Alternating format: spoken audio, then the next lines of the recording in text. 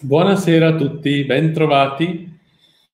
Eh, questo lunedì 14 dicembre di 2020, un anno che sta per giungere al termine e vediamo di farlo giungere al termine bene. Come state? Spero tutto bene. Io prima di iniziare a leggere gli articoli, oggi ne abbiamo due, e non sono due a caso, nel senso che sono due articoli eh, che tutti e due trattano di ufologia o paranormale in Italia. E eh, prima di tutto questo, però, devo ringraziare Maria Giovanna eh, Langasco che mi manda una bellissima cartolina di Natale con la dedica, il suo contributo per il Colosseo di Lego e, ehm, e mi legge e mi scrive qualcosa. Al mio cantastorie preferito, un piccolo mattoncino perché il tuo sogno diventi realtà. Maria Giovanna Langasco, eh, con augurio eh, che siano gioiose feste trascorse a costruire un sogno, con, sereno con sincero affetto. E poi c'è anche una dedica in più per mia mamma. Matteo, non finirò mai di ripetere che incontrare Manilla ha voluto dire per me arricchire cuore e mente, un abbraccio da Annalisa Lo Monaco che eh, sai adoro il suo modo fluido e, se- fluido e, semplice di scrivere arriva dritto a cuore e cervello.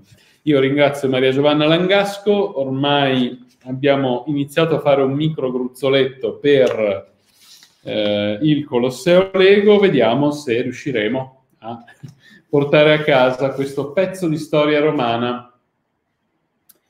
E dal primo secolo a.C. si concretizzerà qui davanti a me il Colosseo Lego, vedremo. Ciao Mauro, ciao Simone, ciao Stefania, ciao a tutti, siete eh, tantissimi, siamo già a 130 e... e niente, insomma, ok, allora io direi che stasera abbiamo due, ehm, due storie molto interessanti e tutte e due ambientate in Italia. Mm, io prima di studiarmele, sono sincero, non sapevo ci fossero state due manifestazioni così paranormali, vogliamo chiamarle paranormali, sapete che io sono scettico, sapete che secondo me, per me è difficile che tutto ciò succeda, molto difficile. Diciamo che c'è un buon 99,9999 periodico per cento che tutto ciò non sia mai esistito, però però parto dal caso che è più incredibile, secondo me, e torniamo al 54. Al 54, quindi 5, 66 e eh, torniamo al 54 con un caso che non ha coinvolto una persona o un piccolo gruppo di persone, ha coinvolto tutta Firenze. Quindi già, insomma, la statistica sul numero di allucinati comincia a essere più difficile da trarre, ecco. Bene, ehm, io parto da qui e direi che posso cominciare subito a leggere l'articolo. Questo l'ho scritto io, quello successivo l'ha, l'ha scritto eh, Cecilia Fiorentina. Fiorentina Pistoiese del 1954. La partita è interrotta perché 10.000 persone videro gli UFO. Il 27 ottobre del 1954 era un giorno di una normale domenica di inizio autunno. Fiorentina Pistoiese, un match del campionato riserve, una competizione che oggi non esiste più. Questa era praticamente senza storia, con 8 degli 11 giocatori in campo che avrebbero vinto il campionato del 55-56 e la formazione del Pistoia che militava in quarta divisione, quindi una partita senza storia. Un match che avrebbe dovuto essere rapidamente dimenticato negli annali dagli appassionati, ma che invece rimane impresso nella memoria dei fiorentini e di tutto il mondo per un fatto assolutamente particolare. Forse gli spettatori, stimati in circa 10.000 persone, non erano gli esseri che vedevano la partita nel modo maggiormente privilegiato. Durante il secondo tempo, alle 14.20, con la formazione riserve della Fiorentina in campo, il pubblico cominciò a rumoreggiare vigorosamente non per il tifo, ma per qualcosa che si vedeva nel cielo. L'arbitro alzò gli occhi e vide quello che i 10.000 spettatori del Franchi stavano osservando da qualche decina di secondi. Una serie di oggetti volanti non identificati che passavano sullo stadio. Il numero di oggetti fu stimato in 20 unità, ma la certezza, dopo così tanto tempo, non è più assoluta.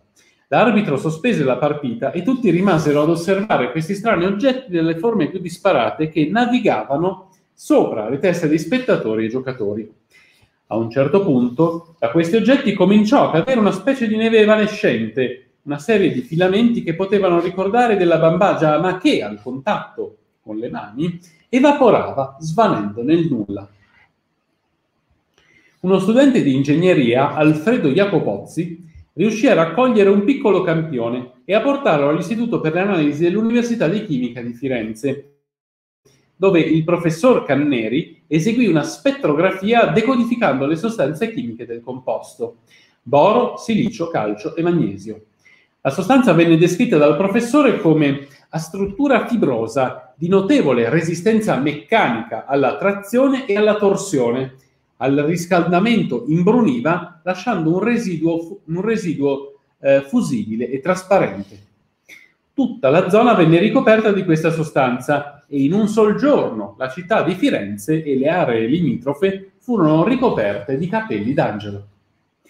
L'occasione al tempo era ghiotta per parlare di un fenomeno tanto interessante come gli UFO. Gli anni 50 furono l'epoca d'oro della fantascienza e molti giornali esteri diedero ampio risalto alla notizia. Il quotidiano fiorentino La Nazione, con il giornalista appassionato di, misterio, eh, di misteri Giorgio Batini, si interessarono grandemente al fenomeno, al fenomeno, e la sua intervista rilasciata quasi 60 anni dopo, ed è sua, scusatemi, l'intervista rilasciata quasi 60 anni dopo al programma Voyager, che lo trovate su YouTube.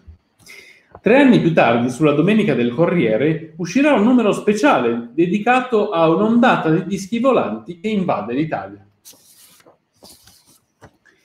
La BBC ha recentemente analizza- ha realizzato uno speciale per ricordare l'evento, in cui i protagonisti privilegiati di quel giorno, giocatori e spettatori, hanno rilasciato una serie di interviste. Ardico Magnini dice: Ricordo tutto, dalla A alla Z.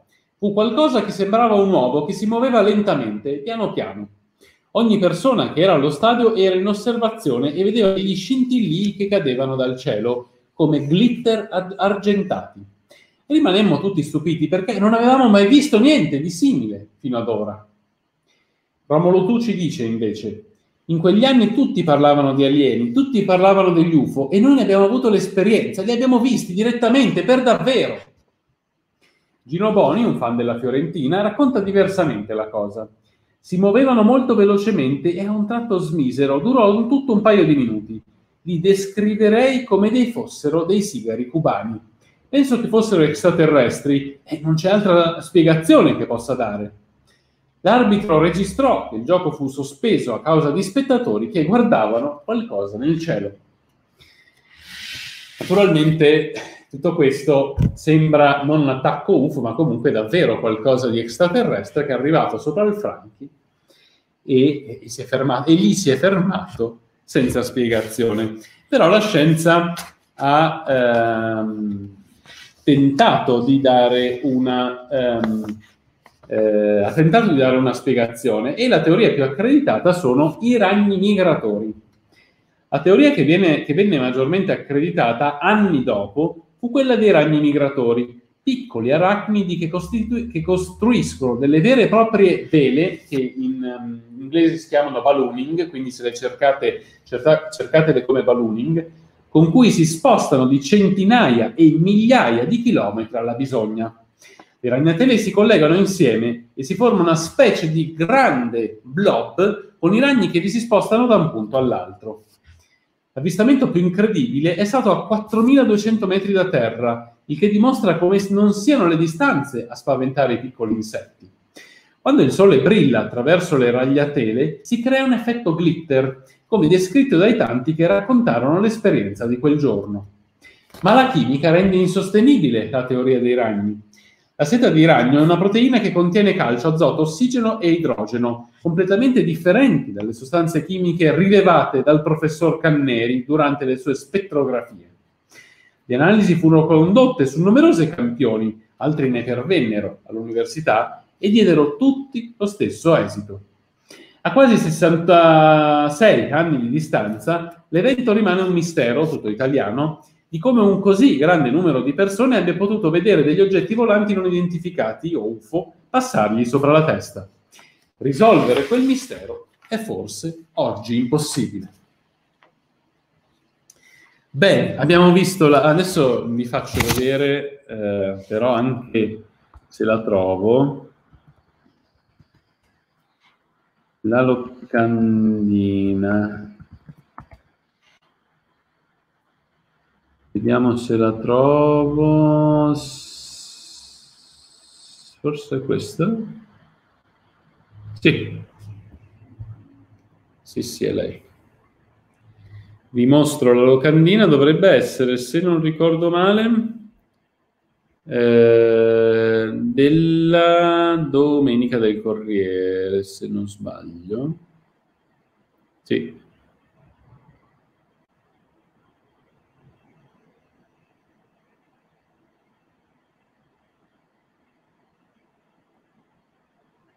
Eccoci qua.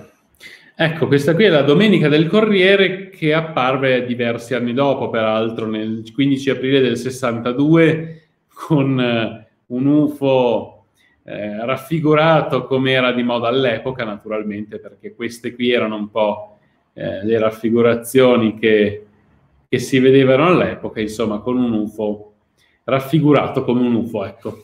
Bene. E quindi, insomma, è stato un evento completamente testimoniato. Fatemi sapere che cosa ne pensate, perché sono, sono curioso, ragazzi. Sono, sono, curioso di sapere cosa ne pensiate. Cosa ne pensiate, ecco.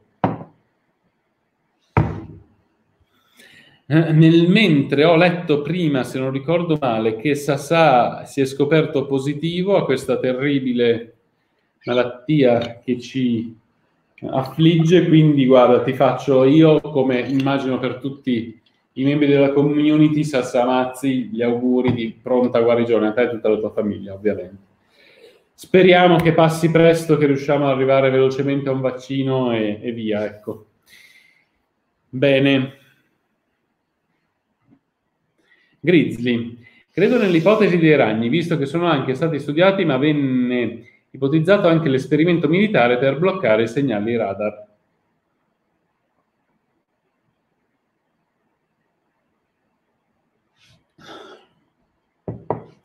Pennipedia, ma non c'erano giornalisti alla partita? Nessuno ha fatto delle foto? Sembra, sembra di no, sembra di no. Sembra che infatti nella, prima ho letto rapidamente nella descrizione del Corriere diceva un evento che non è stato fotografato da nessuno. Infatti è strano perché comunque cioè, avrebbero dovuto fotografarli. Secondo me c'è caso che una, una, una fotografia mh, mm, con le macchine dell'epoca magari non riusciva a rendere queste ragnate. Io sì, un po' mi viene da propendere anche me per questa teoria dei ragni, non lo so. Fatemi sapere, insomma.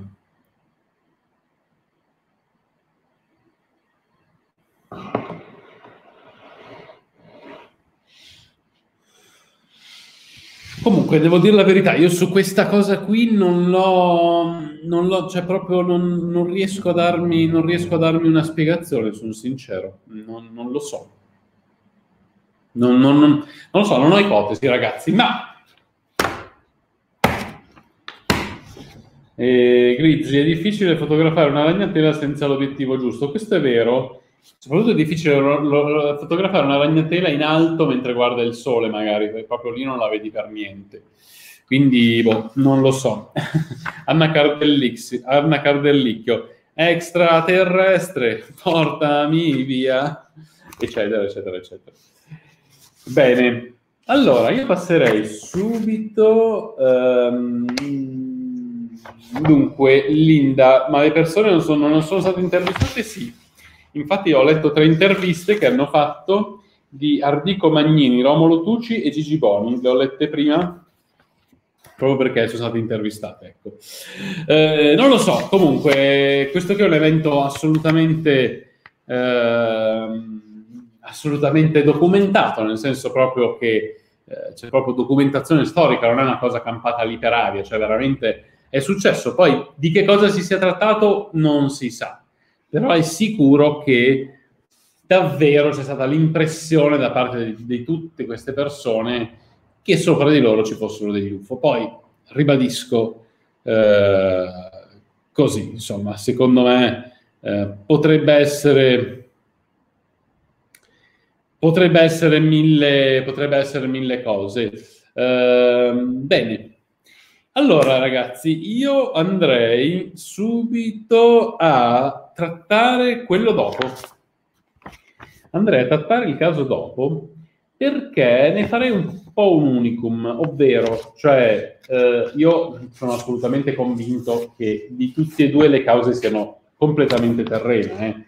Eh, cioè non, non sono eh, non sono per nulla eh, propenso a pensare che ci fossero gli UFO sopra, sopra Firenze, diciamo. Come ho detto all'inizio, 99,999 periodico per cento dei casi era qualcosa di assolutamente terreno. Ma questo caso qui, che andiamo adesso ad analizzare, secondo me è ancora più, più incredibile. Non lo so, devo dire la verità, è qualcosa che lascia davvero un po' stupiti, ecco. Eh, perché è un incontro ravvicinato del terzo tipo,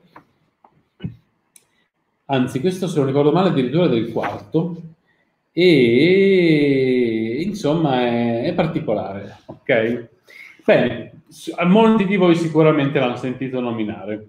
Lo strano caso Zanfretta, il metronotte che riportò diversi incontri ravvicinati del quarto tipo. È la notte del 6 dicembre 1978 quando il metronotte genovese Pier Fortunato Zanfretta, in una località dell'entroterra cittadino, sosterrà di aver vissuto l'esperienza più sensazionale e spaventosa della sua vita. Un, re- un incontro ravvicinato del quarto tipo con esseri extraterrestri. Il fatto si verifica attorno alla mezzanotte. Zanfretta, a bordo della sua Fiat 126, sta ispezionando, come ogni notte, le zone limitrofe al paese di Torriglia, poco lontano dal capoluogo ligure.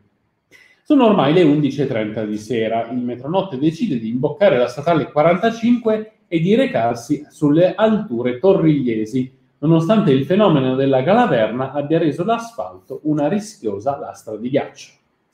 Poco dopo essere giunto presso la villa Casa Nostra, proprietà di un noto medico genovese, i fari della sua auto si spengono improvvisamente e con essi il motore. Preoccupato del guasto del mezzo, Zanfretta è presto catturato da un altro dettaglio allarmante. Quattro luci fanno capolino dal retro della, via, della villa. Subito il metronotte cerca di mettersi in contatto, per mezzo della radio trasmittente dell'automobile, con la centrale operativa dell'istituto di vigilanza presso il quale presta servizio. Canguro dalla 68, canguro dalla 68, mi porto dentro la villa, ci sono dei ladri. Tuttavia anche la radio risulta isolata e spenta. Dunque, nonostante la paura lo attanagli, Zanfretta si avvicina alla villa con la pila spenta e la calibro 38 alla mano. L'uomo cammina rasente ai muri, volendo sorprendere i ladri sul fatto. Ma quello sorpreso è lui e quando all'improvviso si sente toccare la spalla. Zanfretta diventa bianco come un foglio quando, dopo aver acceso la torcia e aver puntato la pistola, troverebbe davanti a sé un essere enorme, alto circa tre metri, con la pelle ondulata, come se fosse grasso o avvolto in una tuta molle, comunque grigia, occhi gialli a triangolo, vene rosse sulla testa, orecchie a punta e mani condita dalle unghie rotonde, come descrisse poi al brigadiere dei carabinieri Antonio Nucchi, comandante della stazione di Torriglia, la mattina seguente. Preso da un panico irrefrenabile, Danfretta fugge verso l'automobile e tenta disperatamente di rimettere in moto senza successo. Tremante, tenta un nuovo contatto radio che un operatore di turno racconta di aver ricevuto a mezzanotte e un quarto. Mamma mia, quanto è brutto, dice Zanfretta. L'operatore gli domanda se sia stato aggredito. No, non sono uomini, non sono uomini. Più tardi egli chiamerà questi non uomini col nome di Dargos. Sempre più terrorizzato, il metronotte cerca di spiegare ciò che vede alla radio, ma una luce abbagliante, grande e triangolare si innalza dal retro di casa nostra e lo lascia attonito. Dopo aver emesso un sibilo acuto e con una spinta straordinariamente veloce, l'oggetto descritto da Zanfretta come un disco sparisce nel cielo. Il metronotte sviene, preda delle fortissime emozioni e viene ritrovato dopo un'ora dai colleghi accorsi sul posto, steso accanto alla villa e in stato di shock. Li ho visti, li ho visti, continua a ripetere mentre viene accompagnato in caserma. Nel mentre i carabinieri rilevano una grande impronta a forma di ferro di cavallo del diametro di due o tre metri nel cortile dell'abitazione, che definiscono nel, nel rapporto come il segno lasciato da un elicottero o qualcosa di grosso che si è spostato sul prato adiacente alla casa. La testimonianza di Zanfretta non rimane a lungo isolata. Nel corso dell'inchiesta sul caso, i carabinieri scoprono che ad avvisare, sul, ad avvistare sulle, sopra le alture torrigliesi un velivolo piatto e triangolare dotato di grandi luci, proprio a quell'ora sono altri 52 testimoni. Due giorni dopo, l'8 dicembre, il quotidiano genovese Il secolo XIX parla per la prima volta del caso del metronotte. Incontri ravvicinati a Torriglia. Raggiunto dunque un certo clamore mediatico, il metronotte viene assillato da continue telefonate, Giornalisti, curiosi, schernitori, tutti vogliono sapere cosa sia realmente accaduto la notte del 6 dicembre. Tra le tante richieste e offerte che Fortunato riceve, una viene da lui presa in considerazione, affiancato dal giornalista Rino Di Stefano, il quale si dedica ampiamente al caso nel 78, quella dell'ipnosi regressiva. Il 23 dicembre, quindi circa 15 giorni dopo più o meno, me- eh, Zanfretta si reca dal medico geno- genovese Mauro Moretti e condurrà la seduta di ipnosi che verrà registrata su nastro. Dopo le tecniche di rilassamento, l'uomo inizia ad ansimare e a rivivere le scene della notte del 6 dicembre. Moretti dice: Cosa c'è? Mi racconti? Io sono qui con lei e non può accaderle nulla. Mi racconti cosa vede. Zanfretta: Madonna, perché dovrei venire con voi? Cosa volete farmi? Cosa sono tutte quelle luci? Non voglio. Voi non siete esseri umani. Via! Cosa mi mettete sulla testa? Via! Non voglio. Lasciatemi stare.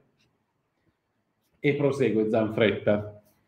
Non voglio che tornate. Non posso dirlo? Sì, farò come voi volete. Datemi una prova. Non mi crederanno. Quante luci. Via, via. Via quel coso dalla testa aspetterò che tornate, che caldo, via quel coso dalla testa, via, siete dei mostri, voglio andare a casa, la mia pila.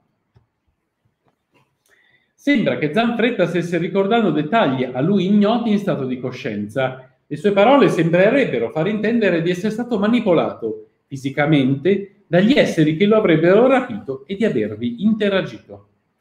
Pochi giorni dopo la sorprendente ma pro- produttiva seduta, il metronotte torna protagonista di una misteriosa sparizione. Ripreso servizio presso la zona genovese della Val Bisagno, la notte fra il 27 e il 28 dicembre, alle 23.46 torna alla radio della sua 127. Sono avvolto da una fitta nebbia e non vedo più nulla. La macchina sta andando da sola e acquista velocità. Non so cosa fare.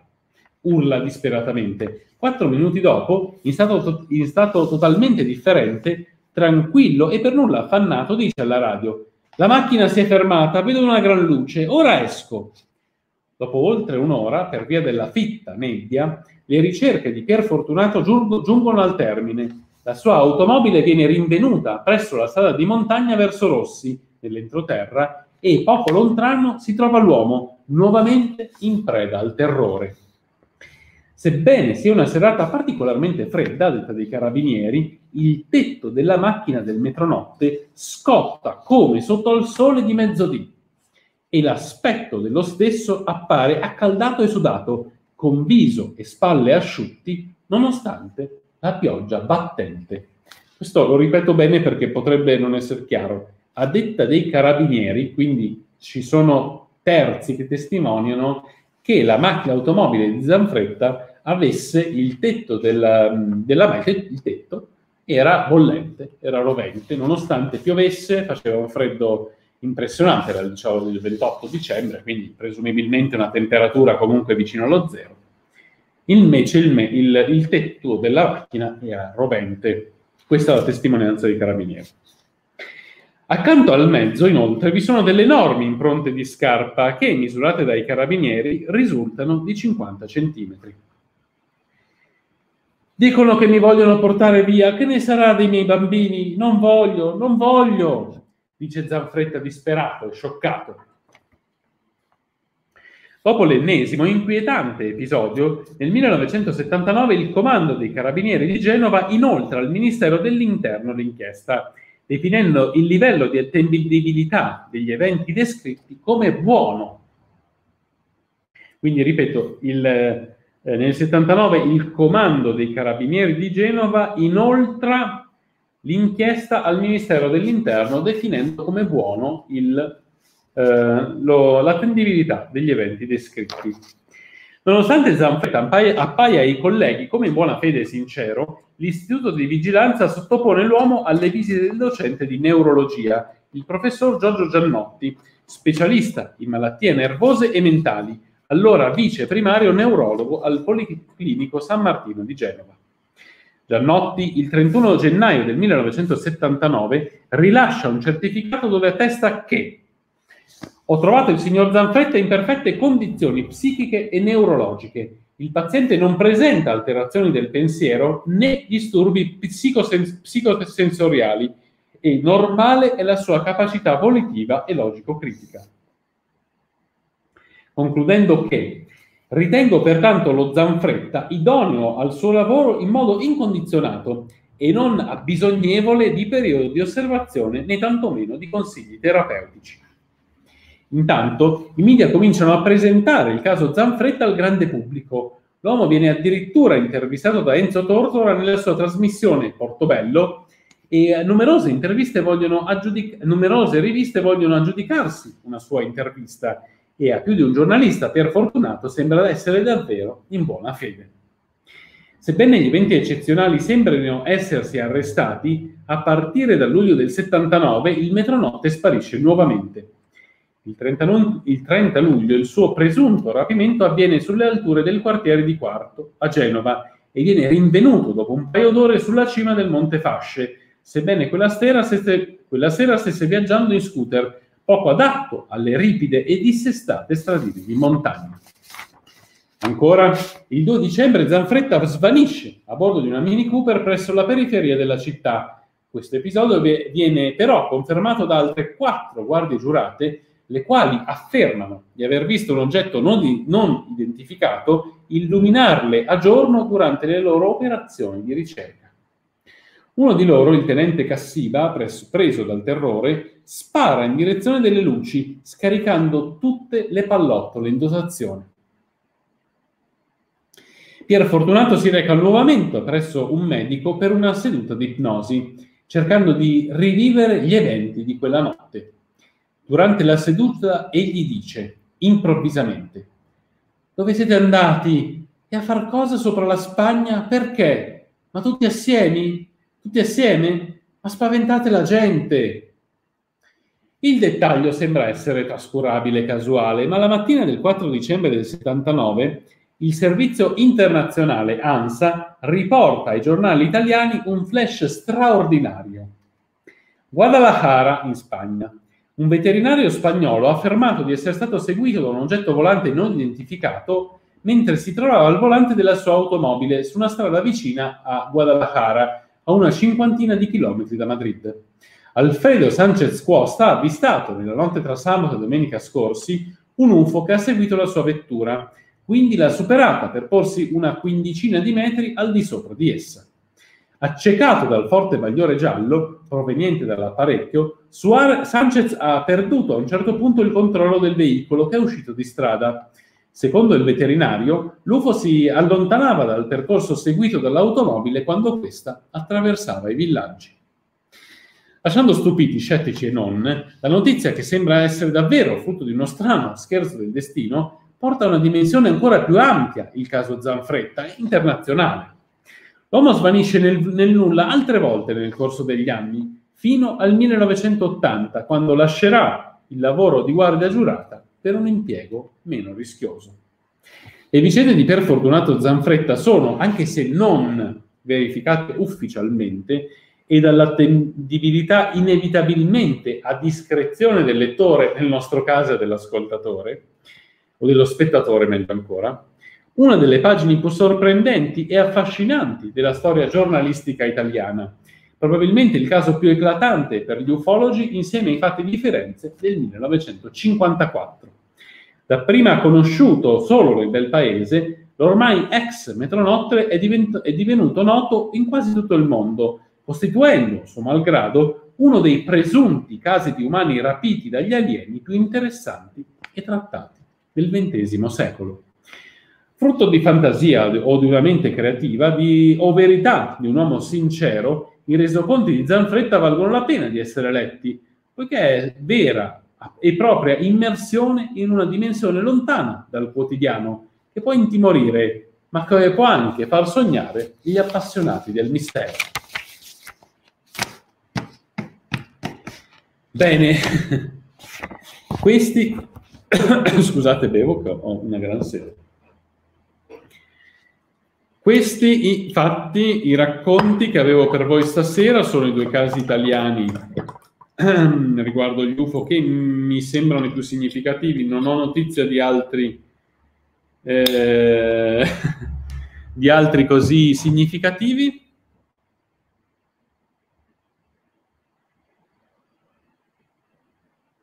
Dunque, ribadisco, io rimango completamente scettico, non... Eh, in particolare sul ragionamento di Zanfretta io...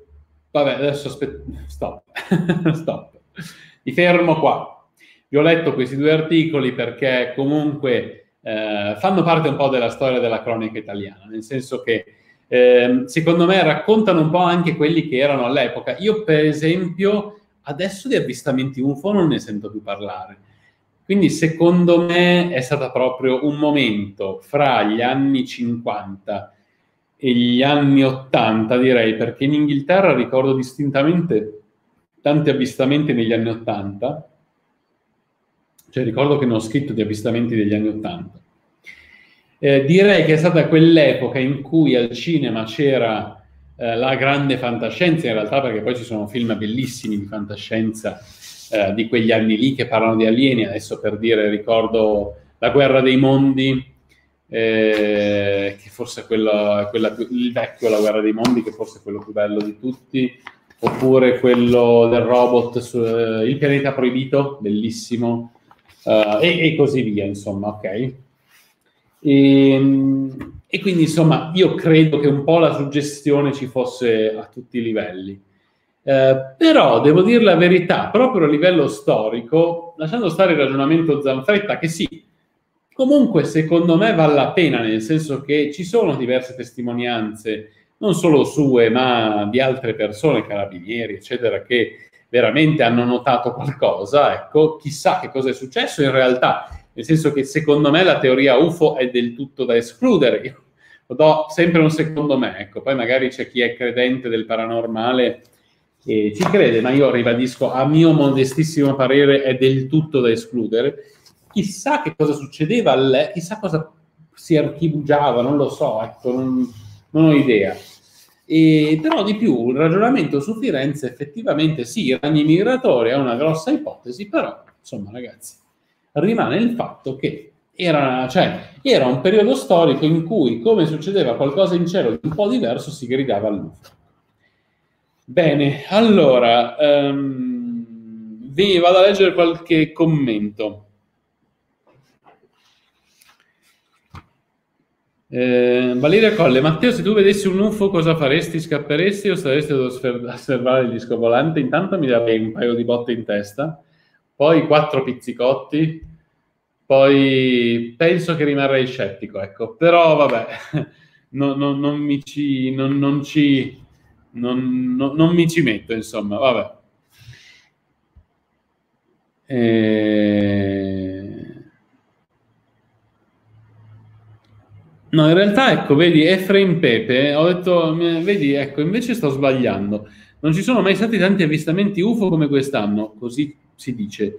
A New York record di avvistamenti, ben 184 finora contro 151 del 2019, di Marco Perisse, 28 settembre 2020.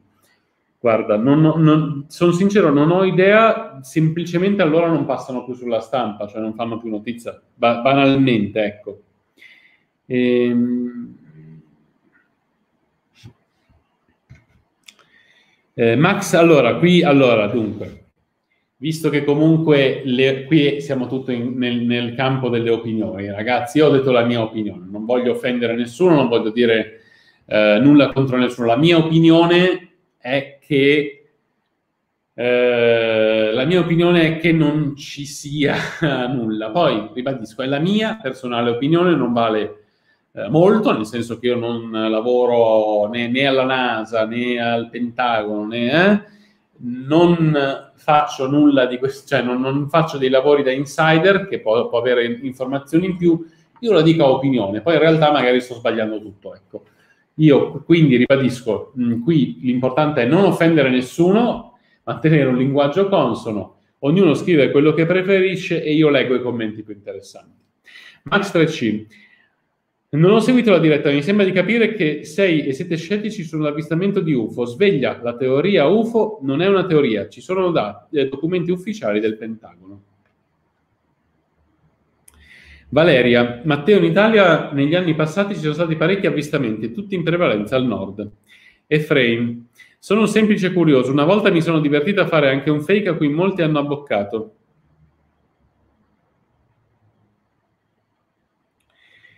Nella tana d'Anconiglia, non ho ascoltato per bene gli articoli, quindi non posso commentare, ma in generale credo che nell'universo, nell'universo esistano altre forme di vita è impossibile che la Terra sia stata popolata, sia la sola popolata nel cosmo.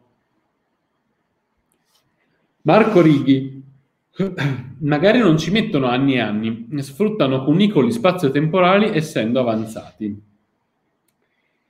Ehm, Daniele Amedeo, che forse Zanfretta avesse una qualche forma di schizofrenia? Andrea Fedi, se davvero i marziani sono venuti a trovarci una volta che hanno visto cosa succedeva sulla Terra, sono scappati di corsa. Roby, dovreste guardarvi l'equazione della, eh, sulle probabilità che ci sia eh, vita oltre la nostra. No, non c'è vita oltre noi e se ci fosse real- sarebbero lontani anni luci e non potrebbero comunicare. Enzo Galli. Eh, Avvistamenti UFO aumentati del 283% nel 2020 secondo il National UFO Reporting Center. Gli avvistamenti in tutta New York sono aumentati del 283%. E... Ehm, Shana, non credo che i documenti del Pentagono siano, siano a disposizione del pubblico. Rondon 273. Più che altro non ci sono mezzi volanti umani che volino a 14.000 km orari e che resistano a tali velocità senza distruggersi. Valeria, però Zanfretta non ha ricevuto una lira per la sua testimonianza. Mm, adesso qui forse entriamo in un, in un campo un po' minato. Anzi, spesso è stato deriso, non ci ha guadagnato nulla. Anche qui non sarei così sicuro, Valeria. Mm, cioè, eh, non lo so, eh, perché alla fine Zanfretta ha fatto tante interviste, ha fatto tante cose, non penso che fosse tutto gratuito, però questo non, non lo dico con certezza. Dave, Matteo ci riprova, hai sentito parlare del caso amicizia? Risalirebbe proprio a quel periodo tra gli anni 50 e 70? No, guarda, da Dave mi spiace, non lo, non lo conosco. E poi c'è Mirko che dice gli extraterrestri sono più avanti di noi, hanno una tecnologia più avanzata. E, e Frame ti avevo scritto una spiegazione data dal CICAP basata su documenti storici. Eh, vabbè, scrivimela che poi la leggo. Eh, mm. Sì, io adesso, scusate, faccio un... Io vi, vi, vi do la mia filosofia, però ripasso. Allora, io... Eh, cioè, la... io la riassumo, la mia teoria la riassumo nel paradosso di Fermi, che è attribuita ma non è certo al fisico naturalmente Enrico Fermi, ehm, che si trovava negli Stati Uniti e che disse banalmente ehm, se l'universo e la nostra galassia pullulano di città sviluppate, dove sono tutte quante?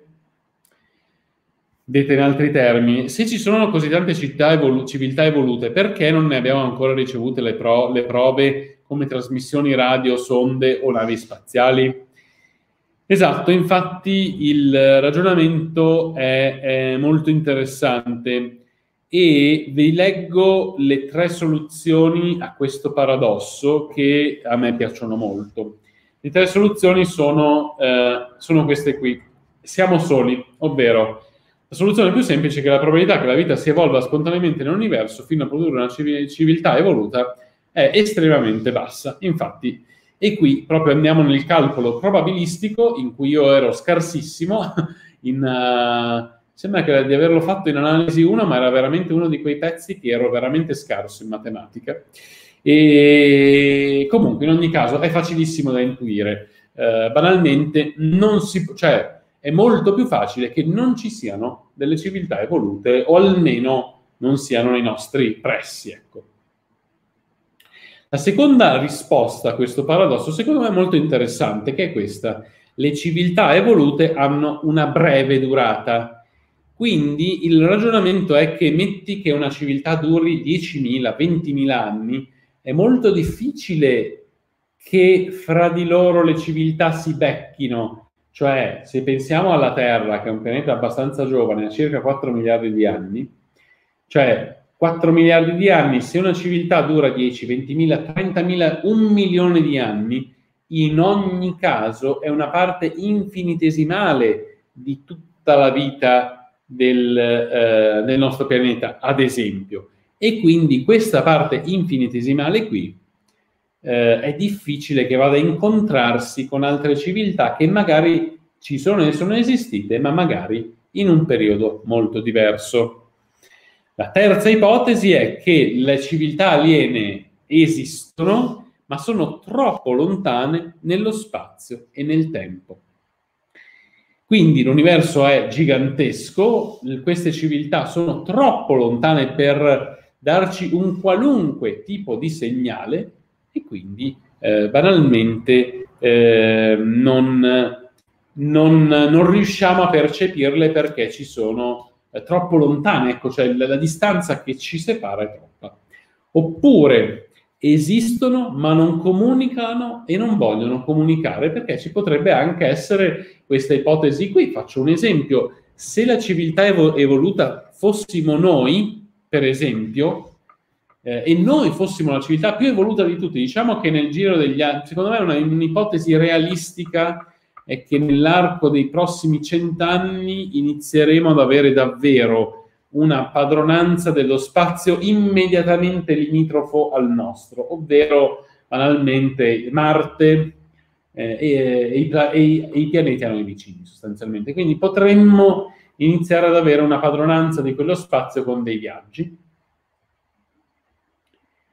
ma ben altra cosa, e qui si parla sempre di, eh, come dire, in questi casi davvero mh, conviene avere un minimo di competenza matematica, perché se il nostro pianeta, cioè se io faccio, che ne so, un milione di chilometri e mi trovo sempre qua nei pressi, affrontare viaggi di eh, migliaia di anni luce è ben tutt'altra cosa, cioè le, eh, le distanze, le tecnologie necessarie eh, crescono in modo esponenziale. Ecco, io mi ricordo, cioè, ricordiamoci sempre le curve eh, esponenziali dei, banalmente, no? dei grafici, dei, grafici dei, dei piani cartesiani.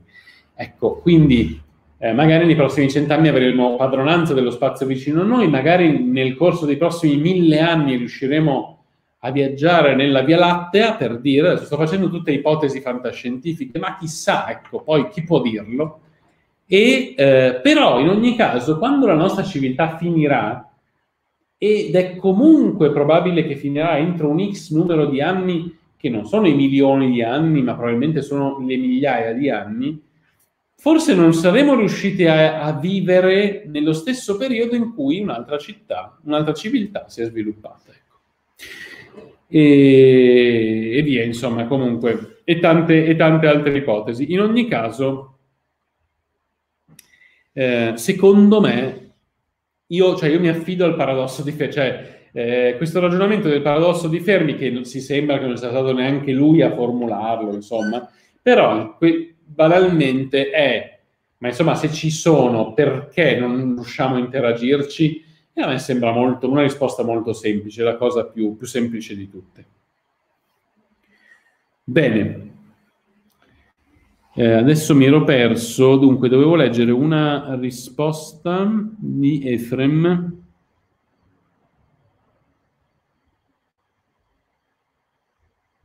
Però oggi veramente i commenti sono tantissime. Oh mamma mia.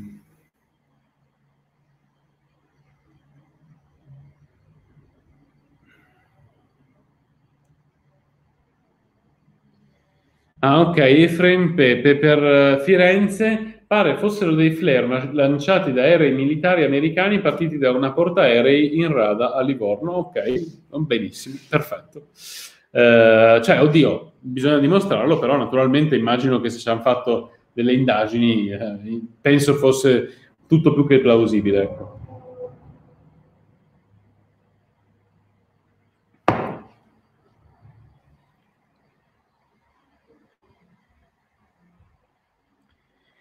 Bene, ragazzi, sono tantissimi commenti, tento di recuperare qualcosa perché sono veramente troppi. Sassamazzi ci dice: Oggi sono venuti a casa mia per il tampone al ragazzino. Fin giuro erano vestiti come gli UFO e non si è capito chi c'era sotto quella tuta, in, quella tuta. Infatti, l'ho visti alle Iene, l'ho visti, sono sembra veramente dei, dei, degli alieni. Insomma, vabbè. E, ehm, Grizzly, su Sky TG, di recente ho letto che l'ex ministro della, della difesa israeliano, ora in pensione, ha affermato che le potenze mondiali avrebbero contatti con gli alieni che affermano di appartenere a un'alleanza galattica. Inizia a pensare che Star Trek abbia fatto danni. Guarda, l'avevo mh, mm, lui, l'ultimo che ha tirato fuori l'israeliano, ma prima di lui anche un ministro canadese aveva tirato fuori una storia simile.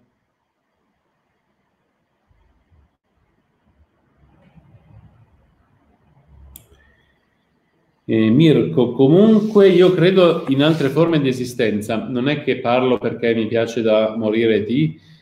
Eh, ricordati gli illuminati, vabbè.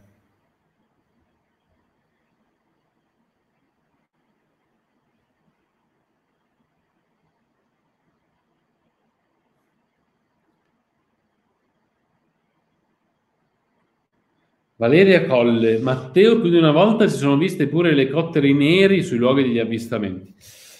Eh, ragazzi, qui secondo me l'argomento Shana, a chi ha sollevato la questione del leggete non andate al di là del vostro naso, dico che leggo moltissimo, studio moltissimo, ma non mi importa nulla degli UFO.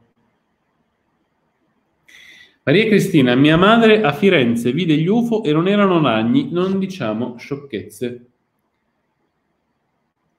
Isabel, va bene, non c'è bisogno, eh, vabbè, adesso qua erano, state parlando fra di voi, vedo... Simo Figo, quando avremo un motore nucleare perpetuo, spezzare i reni alla materia oscura. Ehm, altri commenti?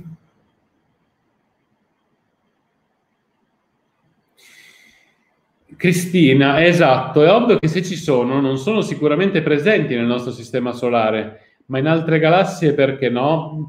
Sì, ecco, su questo qui io, cioè, devo dire la verità, ehm, cioè, bisognerebbe un po' andare a studiarsi il numero di pianeti, avere un po' di confidenza eh, con i numeri, le probabilità e direi equazioni di diversi elementi, ecco. E, mh, ti dico, secondo me è possibile, cioè il fatto che sia possibile non vuol dire che sia probabile, ok? Quindi io non, non sono scettico nel fatto che in altre galassie eh, esistano, come dire, diverse forme di vita diverse. Quello su cui sono assolutamente scettico è la probabilità che abbiamo noi di incontrarle, che è ben diversa dal dire non esistono altre forme di vita. Mi spiego meglio. La nostra vita terrena, no, ogni tanto è bello fare, cioè bisogna avere un po' anche il paragone con quello che riusciamo a vivere noi esseri umani. Un uomo medio circa vive, diciamo, 80 anni.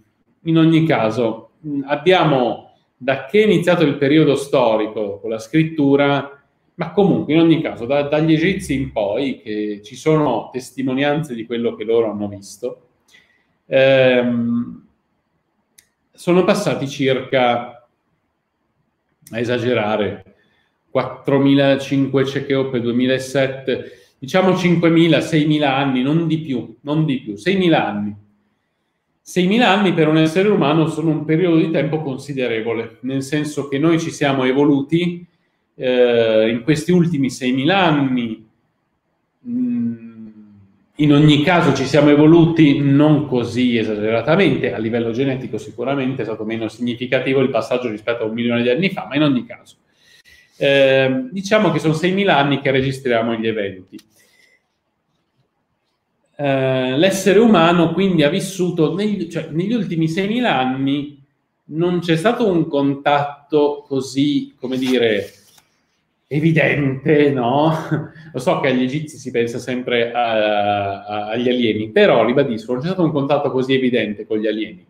Um, il ragionamento è, questi 6.000 anni, se per il genere umano sono un periodo di tempo considerevole, nell'arco di tutta la vita delle galassie, dei pianeti, di questo enorme universo, è cioè, non neanche un battito di ciglia. Quindi il paragone, cioè pensare che quella micro finestra temporale che noi viviamo e che rapportiamo al nostro presente si, eh, si vada a incrociare con un'altra micro finestra temporale di un'altra civiltà che, vissu- che vive chissà dove e che riusciamo a farle incontrare, secondo me è allora, non secondo me, è sicuramente altamente improbabile. Ora, ribadisco, bisogna avere ben presente il paragone, ad esempio, fra i 4 miliardi della Terra, cioè vederlo in una scala, e vedere i 6.000 anni della storia dell'essere umano, che è niente. Quindi, è, secondo me, è difficile fare, come dire, combaciare, almeno è molto improbabile fare combaciare questo tipo di questo tipo di eh, finestre temporali. Ecco, questo è un po' Roby, esatto. Es- ed è esattamente dove volevo arrivare io. Cioè, il ragionamento è, se non ci ricordiamo il um, teorema della relatività, della relatività generale di Einstein, non riusciamo a comprendere bene perché è assolutamente improbabile che noi riusciamo a conoscere altre civiltà. Questo non vuol dire che non esistano o non siano mai esistite, diciamo così, è molto più corretto dire non siano mai esistite o non esisteranno, perché in questo secondo in cui io sto parlando, ehm, diciamo così, ci sono, eh, cioè per il, l'universo è un tempo talmente piccolo che non ha senso pensare che sia rilevante ai fini di ricevere un'altra città. Cioè, molto probabilmente, come dice il paradosso di Fermi, la nostra civiltà eh, è nata, è evoluta, ci stiamo evolvendo rapidissimamente con una curva di crescita esponenziale, ma finirà rapidamente. Perché? Perché le cose finiscono. non solo le cose belle, ma in genere tutte le cose finiscono. Eh, non so se, se del genere umano rimarrà una traccia, io non ho idea, però insomma eh, le, queste tipo di cose qui finiranno prima o poi, cioè la civiltà finirà. Pensare che vada a, a, a incontrarsi con un'altra che nello stesso periodo, nello stesso micro periodo, viva e riescano a raggiungere un livello tecnologico tale per cui si riescano a incontrare, io penso che rasenti, cioè è quella probabilità sui miliardi che rende un po' logico, poco logico, logico credere il, ehm, eh, il, uh, il um, credere la, come dire, credere la, uh, la coincidenza è, è, poco logico. Ecco. I direi tutti, sì, sì, lo so, certo, il Sapiens ha circa 2000 anni, però il periodo storico circa 5-6 mila anni, nel senso che degli egizi leggiamo le cose, quindi sappiamo che è così, ecco. Vabbè. FF rimarrà eh, Berlusconi, Icchiusa, ma anche senza teorizzare. Eh, negli ultimi anni, con le ultime tecnologie, stiamo trovando decine di pianeti che per massa e composizione sono nella fascia abitabile della loro stella, alcuni in posizione, in posizione eccetera.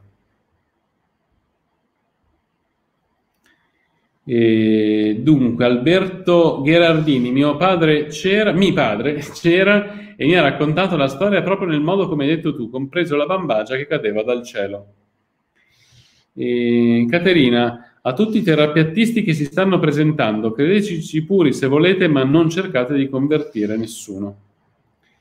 Cristina, io sono un po' come San Tommaso, se non vedo non credo, ma aggiungo che se dovesse succedermi di avere un incontro e nessuno mi credesse, la cosa mi darebbe abbastanza fastidio. E...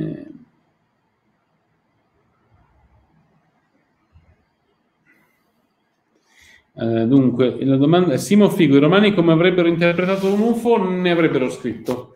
Ne avrebbero scritto, ma Luciano di Samosata nel primo secolo, mi sembra, scrive quello che è il primo romanzo di fantascienza e immagina gli uomini che vanno sulla Luna e ti garantisco che Luciano di Samosata non parla assolutamente di UFO.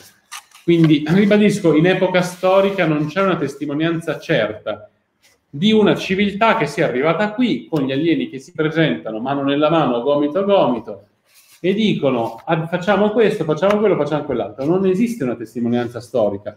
Poi ci sono 1200 disegni che sembrano UFO, eccetera, ma ribadisco, non c'è una testimonianza reale, credibile in cui si dica è arrivato un UFO, c'erano sugli alieni, avevano quattro gambe, due braccia e tre teste, eccetera. Quindi ribadisco, prov- è proprio, ragazzi, è proprio una questione di probabilità. Poi dopo che vogliamo credere che esistano gli alieni, ma dobbiamo anche un po' raffrontarci con la realtà dei, dei fatti e le tonnellate di matematica che ci fanno studiare fino all'università. Qual è la probabilità? E io ero particolarmente scarso in matematica, ma ribadisco, le probabilità sono poche. Ecco, questo giusto per dire probabilità. Poi il fatto che siano poche non vuol dire che siano inesistenti, eh? però le probabilità eh, sono poche. Ecco.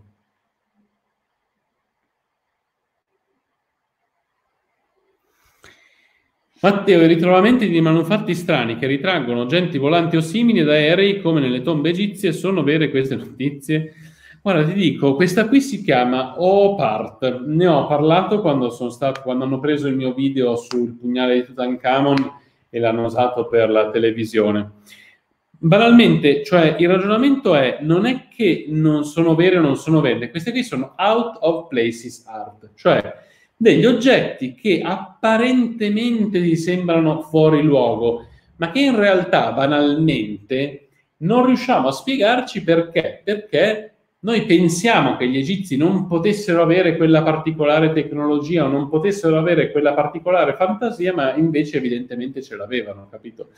Sono tutti oggetti che, sì, magari tipo, guarda, eh, su, mh, mm, nel video che ho fatto su Tutankhamon, ho parlato del suo pugnale, ho parlato dello scarabeo, sì, sono tutti oggetti strani, ma banalmente, cioè, sono un pugnale e uno scarabeo, poi che fosse ferro meteorico, come è stato fatto, perché c'è il caso, ragazzi, il caso, in... non, non, non c'è niente di più, secondo me. E... Betty. Matteo, dovresti cercare le interviste agli astronauti su questo argomento. Guarda, ne ho trovate diverse. Ho trovato anche interviste a tanti piloti, in realtà, e mm, cioè, rimango sempre un po'... Ragazzi, sono sempre avvistamenti, cioè mh, mm, l'avvistamento può voler dire tutto e voler dire niente, cioè non è un avvistamento, cioè è una concretezza, il dire ok, ci sono questi alieni, sono venuti qui, cioè un resoconto storico e via. Insomma, vabbè. Valeria, Matteo, se venisse un alieno e ti sgraffignaste un Lego, lo affronteresti? Secondo me sì, per il Lego questo ed altro. Se mi sgraffignaste, se, se riusciamo a fare il Colosseo e mi sgraffignasse il Colosseo, piuttosto gli taglio i propulsori razzo spaziali temporali della sua astronave. E, e frame. In realtà non conosciamo le probabilità. In realtà non sappiamo ancora quanto sia diffusa la vita. Per ora diciamo che sono poche perché non, conoscia- non conosciamo altri luoghi nello spazio dove sì, c'è vita.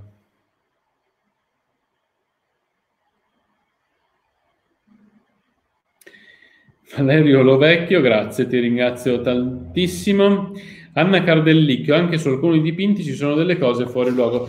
Sì, è vero, guarda, io ti dico, ne avevamo scritto, ci sono anche in molti scritti indiani dove ci sono queste cose che somigliano degli UFO vagamente. Ragazzi, ma come le immaginiamo noi queste cose qui? Le immaginavano anche gli uomini di un tempo. Non è che non avessero l'immaginazione, ribadisco, il primo romanzo di fantascienza è stato scritto da Luciano di, Sa- di Samosata e lui immaginava gli uomini che andavano sulla Luna e se leggete quello, quello, quello scritto eh, vi renderete conto di quanto è moderno, cioè sembra un scritto ieri, capito? Allora ribadisco, non è che c'è la fantasia, se ce l'abbiamo tutti, ce la, ma ce l'avevano i romani, ce l'avevano gli egizi, ce l'avevano i greci, ce l'avevano tutti. Il fatto che la fantasia ci faccia immaginare delle cose non vuol dire che siano con realtà concreta. Ecco, io, vabbè. ehm...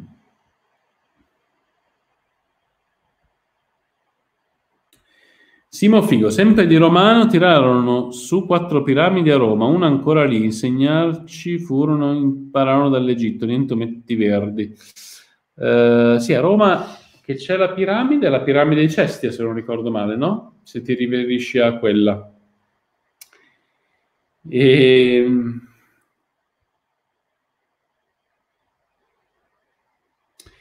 Daniele Delia, si può discutere o giustamente dubitare, ma ho sempre trovato singolare e sospetta l'esplosione delle tecnologie digitali uscite oggettivamente dal nulla dagli anni 50 quando, 50, quando queste storie iniziano.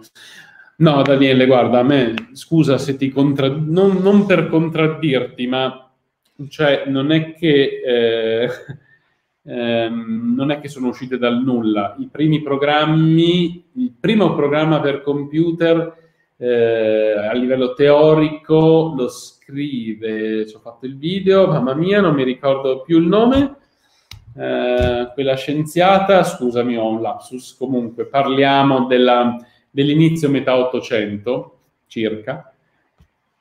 Da allora le tecnologie, soprattutto quando vengono introdotte naturalmente le valvole, iniziano a crescere sempre di più se ti fai un po' di storia dell'informatica, io l'ho fatta soltanto a livello di passione, ma eh, non, è, non è difficile ricrearlo. La tecnologia digitale evolve in modo molto rapido, ma in modo molto ben logico conseguenzialmente e eh, non c'è niente di segreto strano.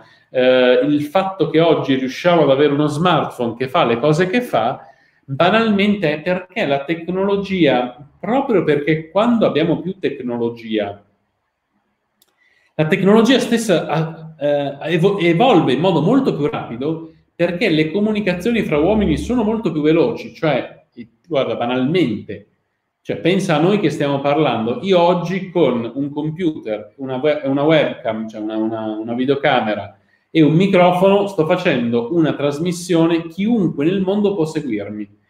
Eh, 2020, se, e, e sono già anni che si può fare questa cosa. Se avessimo detto questa cosa qui a una persona negli anni 20, ma anche negli anni 50 probabilmente, o torniamo indietro ancora di più, nell'Ottocento, se tu avessi detto un qualunque essere umano domani può essere visibile a un altro Ehm, dall'altra parte del globo perfettamente in sincrono, cioè eccetera, eccetera, eccetera, ti avrebbe preso per pazzo, perché era una realtà completamente fuori dalla sua, cioè era una qualcosa di non concepibile. Questo per dirti che la tecnologia, una volta che inizia a evolvere, è, è proprio la tecnologia che ti porta ad avere questa evoluzione sempre più rapida. Perché noi adesso stiamo parlando e magari uno di voi domani inizia a studiare, tecno- eh, non lo so, va ingegneria delle telecomunicazioni e inizia a studiare queste, questo ragionamento delle comunicazioni, eccetera. Cioè è, è proprio eh, la tecnologia che porta altra tecnologia sostanzialmente. Questo, guarda, sai da dov'è che viene fuori questo, questa, questa, affermazione? Dal fatto che noi pensiamo sempre, ti faccio un, bre- un brevissimo uh, riepilogo storico, noi pensiamo sempre che gli, gli esseri umani siano diventati più intelligenti quando, um, quando, per dire, siamo passati da fare degli strumenti più semplici a degli strumenti più difficili, ovvero non lo so, dai, dalle semplici punte di selce agli archi, a tutte queste cose. In realtà si è scoperto che moltissime delle eh, invenzioni umane sono nate per caso, no? Cioè la casualità dell'uomo che osserva la natura e la riproduce, quindi l'arco, eccetera, eccetera, eccetera.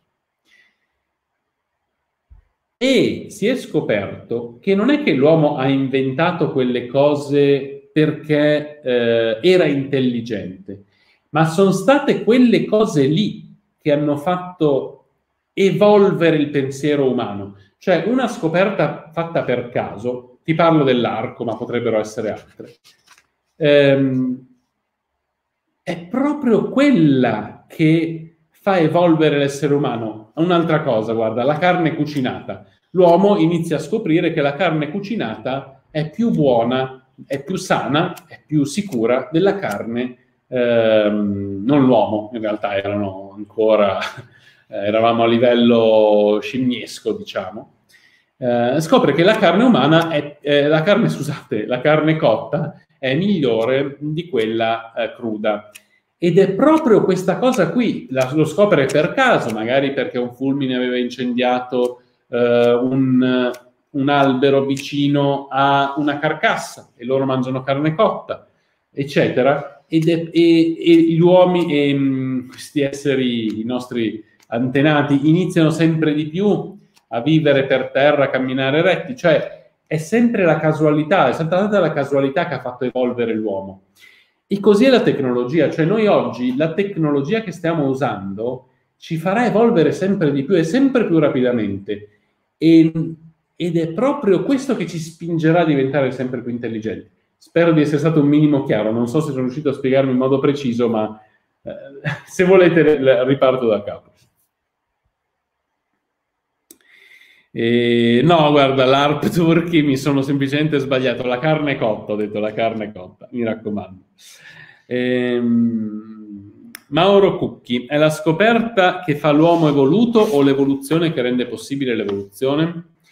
Il dilemma esistenziale di oggi? No, secondo me non è un dilemma perché tantissimi scienziati hanno detto che è proprio l'evoluzione, anche casuale, che rende possibile l'evoluzione dell'uomo e delle società umane. Bene.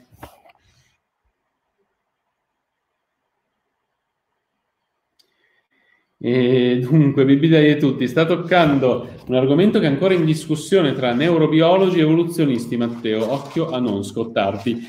È, è, vero, hai ragione, lo so che c'è discussione, so che non c'è certezza, io le cose che ho letto, diciamo così, mi hanno convinto di più una parte che l'altra, quindi io sposo una convinzione, poi lo sapete che le mie sono opinioni, io leggo, studio, mi sembra, cioè, questa è la mia banalissima opinione da dilettante eh, della storia, eccetera, vi do la mia opinione, poi che sia vero o meno, eh, la metto così, insomma. E, ehm, sì, sì, lo so, Mauro, certo, ci, ci mancherebbe. E, dunque,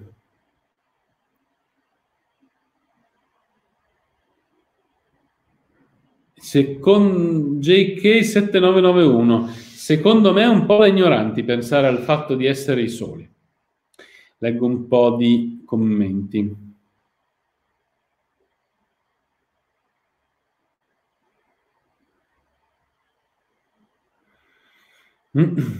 Fabio Maggioni. Hanno descritto una parte degli avvistamenti inspiegabili dalla scienza.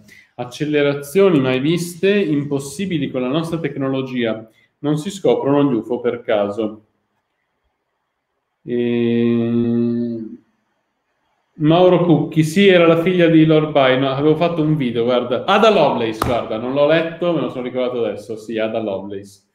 Assolutamente, scusami, ho avuto un lapso, nonostante ci abbia scritto, abbia fatto il video, eccetera, proprio, ormai i nomi, i nomi sono, sono tanti, insomma, vabbè.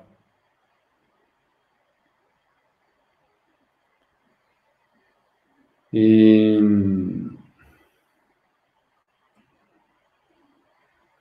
Mauro Cucchi, avete presente Lovecraft? Secondo me i suoi racconti che ipotizzano l'esistenza degli alieni come organismi unicellulari, batteri o simili, sono più verosimili degli omini verdi con le antenne. Sì, su questo sono veramente d'accordo. Vado a vedere se c'è qualche altro commento. Pepito per aria. Ma Fiorentina e Pistoiesi sono toscani. Alex Blackout. È un po' azzardato pensare di essere soli considerato la vastità dell'universo. Anche noi siamo alieni per le tribù amazzoniche o papuane, verissimo, questo sono d'accordo. Ehm...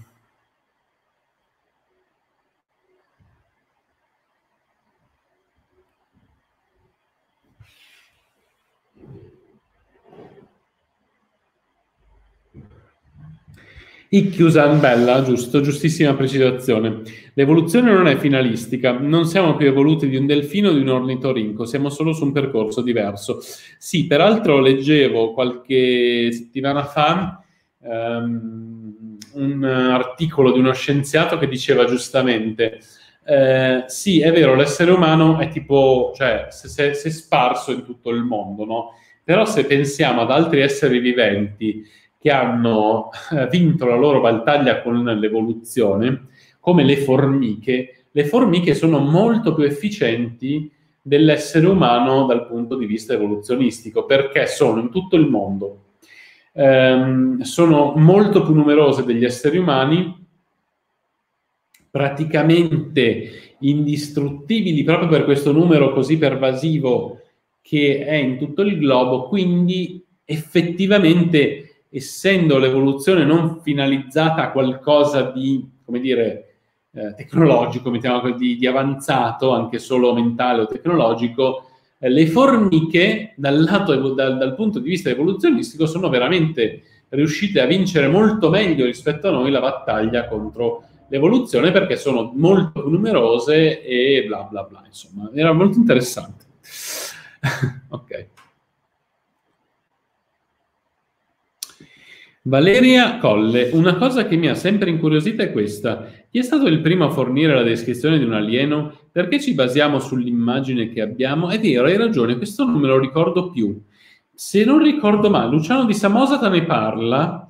Aspetta che vado a prendere qualche illustrazione. Però non so se è il primo. Lui è quello... Mh,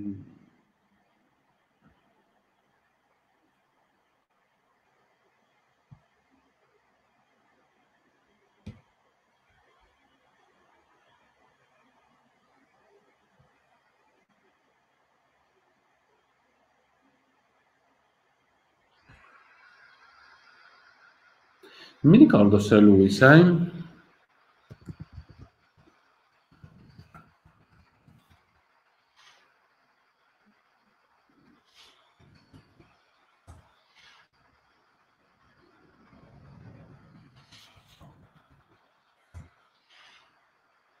Storia vera, esatto.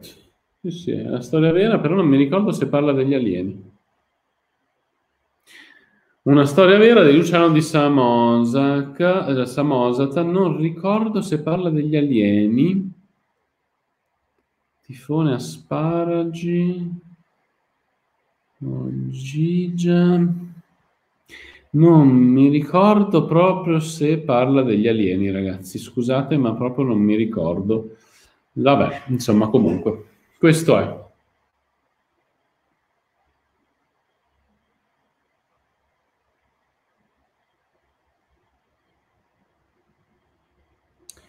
L'ARP Turkey. Scherzi a parte, avete mai provato a guardare un gatto negli occhi tirandogli completamente indietro le orecchie? È identico ai classici grigi dell'Area 51. I gatti sono alieni.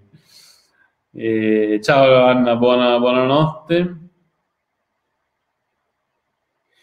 E Mauro Cucchi, è interessante una considerazione di Chiara Frugoni, che se non ricordo male è una medievista, giusto? Aspetta che vado a leggermelo. No. Uh, sì, è una storica, sì, sì, sì, sì. Sì, sì è una medievista. Ok. Eh, formiche e api creano qualcosa di incredibile, ma sempre la stessa cosa, infatti non hanno storia. Daniele Amedeo, purtroppo noi esseri umani vediamo e consideriamo tutto sempre solo dal nostro punto di vista. I delfini si riconoscono allo specchio, sono gli unici oltre a noi. E...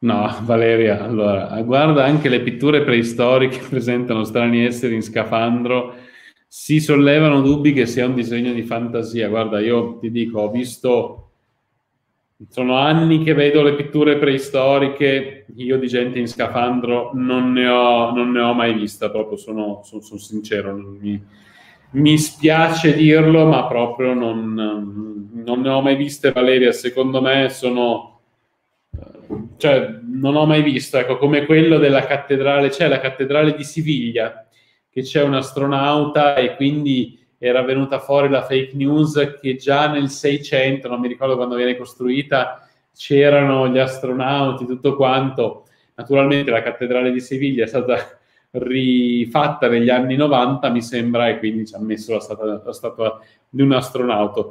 L'astronauta, no, mi spiace, non, no, non, non ci sono astronauti nei disegni preistorici. Anthony Zala, um, dunque, Zal, aspetta, Salpaturus, Salpaturus, ok, spero di averlo um, pronunciato bene, Salpaturus. Buonasera a tutti, però il generale israeliano Esem ha, è sicuro per la presenza degli alieni ed era il top per anni al programma spaziale israeliano. Eh,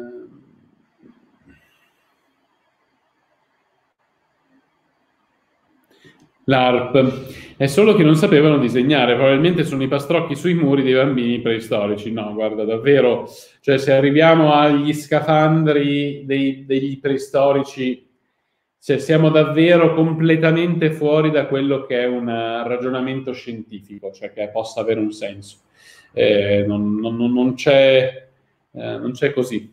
È greco, ma te devi saperlo pronunciare. Sì, però guarda, ti dico, ci sono alcuni eh, cioè, alcune cose ti garantisco che non sono semplicissime. Ecco, vabbè, mi, mi, mi, mi fermo qui. E, ehm, Ah, infatti, peraltro, gli ho pronunciato il male il suo, il suo, nome perché è Adonis, quindi Adonis Zalpaturus. Ok. E dunque i Chiusanse i gatti sono alieni, ci hanno conquistato con estremo successo. Ramona, infatti i gatti hanno conquistato il mondo e ci dominano. E... Sono comparsi degli strani prismi metallici, tipo quelli di Stanley Kubrick. È vero, Pepito, se tu seguissi le mie live della mattina sul social viola, avresti scoperto che già un gruppo di artisti ha detto che eh, ha fatto questi monoliti per farsi pubblicità. Sono un collettivo di artisti che vendono copie di questi monoliti a 45.000 euro l'uno, cada uno, e hanno già ordinazioni. Quindi il motivo per cui questi monoliti sono apparsi così, semplicemente per farsi pubblicità. E... Valeria Colle, no, figurati, non scusarti, però ricordati che, ecco, cioè, non, cioè queste qui sono ipotesi che non hanno, non hanno campo. Ecco. Fabio Maggioni, in tutte le religioni antiche compare la figura extraterrestre, in molte viene detto esplicitamente. Sempre molte descrivono le stesse cose in luoghi diversi a distanza di migliaia di chilometri. Sì, ma perché tanto mh, ribadisco che cosa cambia? Cioè, nel senso, se noi riusciamo a immaginare gli extraterrestri, perché non dovevano farlo loro che immaginavano una religione, cioè che naturalmente la religione è un'invenzione totale e eh, come dire, arbitraria dell'uomo. Non sto dicendo, non sto parlando di Dio, ma la religione, le scritture, eccetera, sono evidentemente un'invenzione umana. Dentro ci ha messo anche gli extraterrestri, non ci vedo niente di strano personalmente, ecco. E, no, Caterina, io no, non do frustate a nessuno, guarda. E, no, ribadisco, cioè il ragionamento è proprio questo qui, cioè un po' probabili, un po' un calcolo delle probabilità, un po' un ragionamento di dire non abbiamo dei, dei dire, delle, eh, delle, delle raffigurazioni concrete, delle, dei reali, delle reali testimonianze storiche di azioni fatte da alieni, ma perché? Perché è molto difficile beccare nella finestra temporale in cui vive o vivrà o è vissuto l'essere umano eh, è difficile beccare quella file- finestra temporale in cui anche un'altra civiltà è evoluta in modo da riuscire a raggiungerci. E banalmente è questa la vera difficoltà, secondo me. E, bene.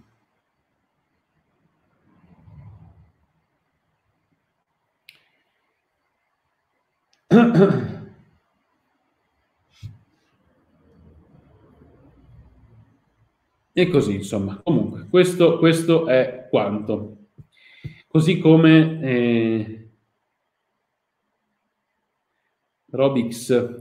Quindi scusa la domanda, dici che le scritture religiose siano una mera invenzione umana? Non so chi, deve, chi può averle scritte.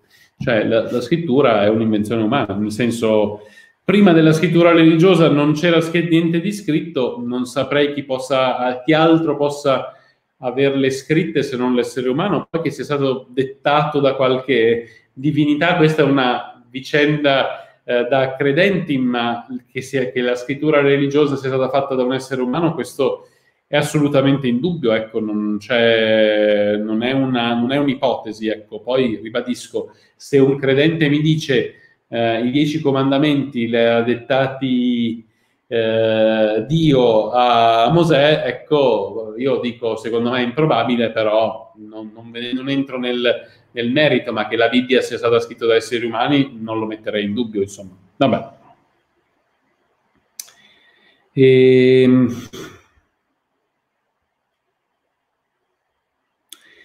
Allora, l'ARP, credo comunque che sia assolutamente egoistico pensare che siamo l'unica pianeta abitato o che gli alieni siano tecnologicamente più avanzati. Ah sì, questo sono d'accordo. Cioè, secondo me è anche facile che siamo noi la civiltà che in questa, in questa micro finestra storica che stiamo vivendo, magari siamo la civiltà più evoluta. Magari fra 3.000 anni scopriremo che in pianeti a, 100, a boh, che ne so, 1000 anni luce da qui, Uh, ci sono delle forme di vita, però ci sono, oppure ci sono anche state, magari troviamo i fossili di queste uh, forme di vita qui, magari sono state delle forme di vita simili a noi, oppure simili ai dinosauri, adesso sto sparando, che troviamo i fossili di questa civiltà perduta, chissà, ecco. Cioè, magari potendo girare tutto lo spazio le trovi di altre civiltà, però ribadisco, devi andare molto in là, devi riuscire a esserci quando, cioè a a, esserci ancora quando riesci, riesci, a trovare queste testimonianze. Insomma, ragazzi, non, non è proprio semplice, ecco. E Linda Martini, ci sono delle cose nella Bibbia che non erano ancora state scoperte dalle persone, ma sia stata scritta da esseri umani. Io, guarda, non saprei, cioè, mi sembra, ecco, vabbè. Um, Esatto, l'Arthur chiede, non sottovalutare che quello che noi definiamo vita è basato sui canoni del nostro pianeta. Giustissimo, infatti bisogna proprio rifarsi alla teoria della relatività generale di Einstein e capire che la percezione nostra del tempo Einstein fa poi quei bellissimi esempi con i treni, ecco, che sono efficacissimi, che adesso io non mi ricordo in modo da spiegarveli, però Einstein fa questi, questa serie di ragionamenti ehm, che ci spiegano che naturalmente il tempo è un concetto del tutto relativo e quindi noi viviamo il nostro tempo in base a quella che è la nostra vita. Ecco.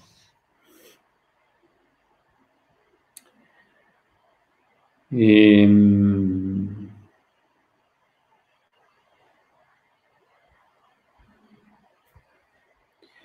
Per esempio, Alessandra Romerio, solo nella nostra galassia esistono milioni di esopianeti, non si possono escludere altre forme di vita o civiltà, magari superiori alla nostra, ai posteri. Sì, sì, guarda, io non lo sto, cioè, eh, cioè, ribadisco ragazzi, io vi faccio un ragionamento probabilistico, niente di più. Cioè, io, la, la conclusione a cui sono arrivato è questa è improbabile che riusciremo ad avere un contatto con un'altra civiltà perché il periodo che viviamo noi è brevissimo nei confronti della vita dell'universo, cioè della storia del nostro universo, la nostra finestrina temporale è minuscola. Cioè voi immaginate un palazzo di 100 piani con una finestrina grande come eh, boh, Ecco, come questo coperchio, adesso sto, sto esagerando probabilmente. Poi immaginate un palazzo di 100 piani con una finestrina grande come questo, questo coperchio. But, lanciate una palla verso, eh, cioè una palla grande esattamente quanto questo coperchio, in questo edificio grande come un palazzo di 100 piani, ok? La sparate a caso con un fucile che a caso spara e eh, in, inquadra prima o dopo in un, come dire, X tempo, inquadra questa finestrina, perché le nostre civiltà, cioè la nostra civiltà e quelle, una civiltà aliena si incontrino, la palla su un palazzo di 100 piani, più o meno, sto, sto facendo a, a, a spanne, ma il paragone rende, la palla deve entrare esattamente qui dentro, perché le nostre due civiltà si incontrino. Chiaro che se, se, è un po' spostata magari riescono a incontrarsi lo stesso, ma in ogni caso vi rendete conto della probabilità, cioè dell'arco temporale enorme che è l'universo e di quanto minuscola sia la finestra in cui vivremo noi? Ecco, secondo me, diciamo così, le probabilità non sono dalla nostra. Poi che uno possa credere che sparando a caso questa pallina si vada a infilare qui dentro in un palazzo da 100 piani, oh, ma perché no? Cioè, le possibilità ci sono. Ce n'è una su tantissime, ma ribadisco, sono molto molto basse, ecco, cioè non è una, una, probabilità, non è una probabilità alta, tutto qui. Eh, ecco, vabbè. E... Anche Colombo aveva avvistato strane luci in acqua a cui non seppe dare spiegazione. Ad oggi quelle luci, secondo alcuni studiosi, sarebbe causata dai molluschi che, che creano bioluminescenza, fa- famosissimi, ce ne sono in Giappone tantissimi, ma anche negli Stati Uniti. Ehm...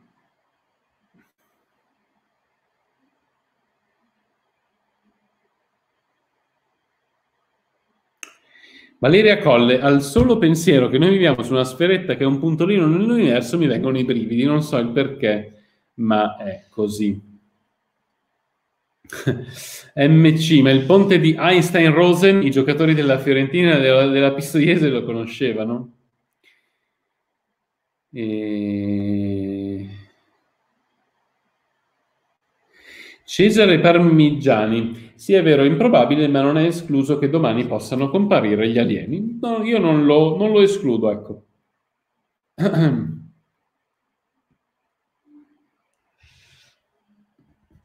Andrea 7. Io essendo curioso ne ho viste e lette tante. Credere in qualcosa non significa credere a tutto. Diffondono storie e video assurdi e sta a noi essere obiettivi. I rapimenti, gli avvistamenti di esseri.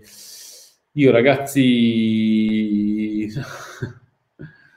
eh, non lo so, vi dico, ribadisco, questa qui secondo me è un po' il, il ragionamento alla base... Eh, delle, delle cose, secondo me. Ecco.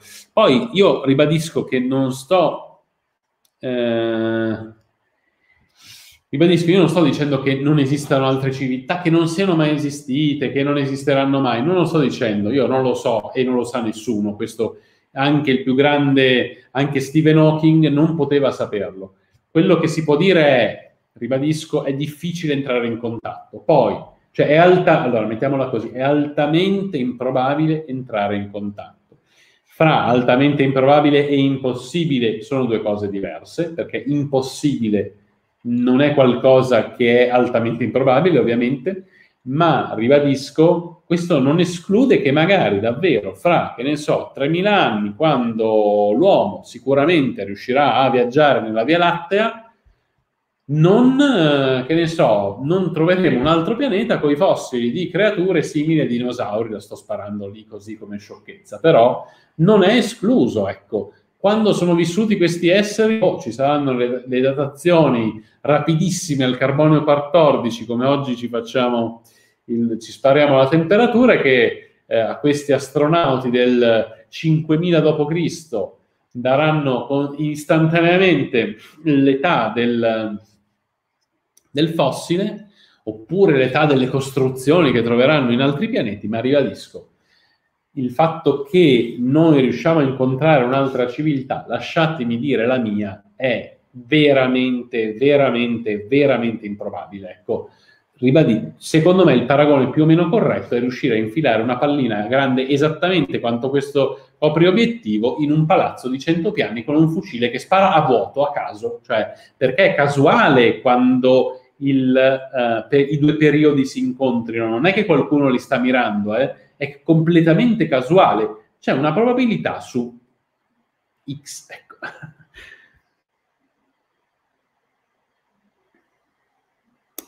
Regina Raflesia, se potessimo viaggiare nel tempo, agli occhi di esseri umani di migliaia di anni fa saremmo noi gli alieni, assolutamente sono d'accordo. Kishan, è vero, gli scienziati dicono che è ancora troppo presto. Intanto la sonda Keplero ha confermato molte teorie della seconda metà del XX secolo. Ha trovato un segnale sicuramente non naturale.